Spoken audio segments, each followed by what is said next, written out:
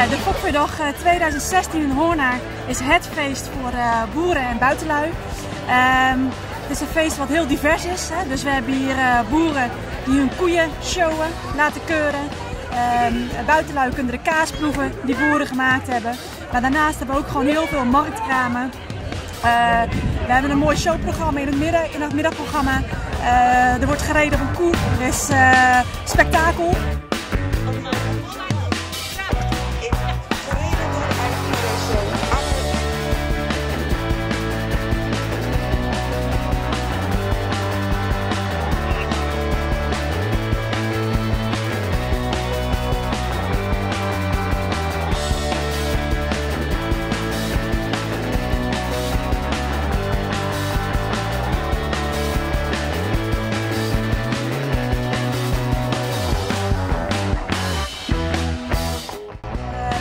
Uit de buurt die wat kunnen laten, komen laten zien wat zij kunnen.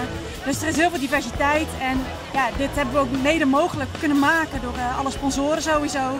En uh, de vrijwilligers die hier allemaal uit de buurt komen en die uh, alle handjes inzetten om dit tot een groot succes te maken.